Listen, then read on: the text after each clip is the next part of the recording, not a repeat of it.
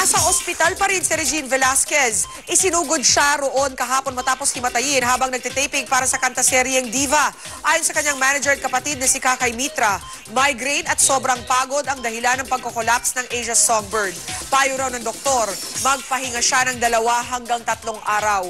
Wala naman daw dapat ipag-alala ang fans ni Regine. morning pa lang may migraine na siya eh. And then she took sa medicine. Kaya lang, ah, since ma- sobrang init kahapon, may shoot sila na sa labas. So it didn't really help na mainit kasi umuulit yung migraine niya. That's it for Chika Minute. I'll see you again tomorrow. Ako po si Tia Guanyo.